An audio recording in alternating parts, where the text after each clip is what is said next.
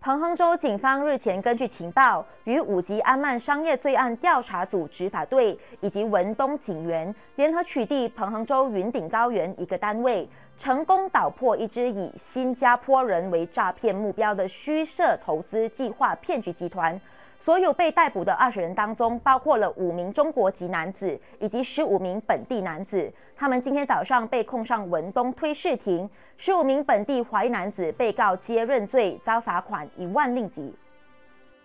根据早前报道，该诈骗集团相信是从今年八月开始活跃。他们是通过手机约会应用程式 Coffee Meet Baker Dating App 随机寻找诈骗目标，而诈骗目标是新加坡人。至于涉案的五名中国男子，都是持旅游签证入境大马。二十名被告被控于今年十月五号，在文东云顶高原一个单位进行一项不存在的投资欺骗，因而抵触刑事法典刑事串谋条文。认罪的十五名本地男子各遭罚款一万令吉。如果交不出罚款，就得以三个月监禁取代。另外五名中国籍被告由于不懂国语，因此要求推事庭提供懂得华语的翻译员。案件择定在十月二十三号过堂。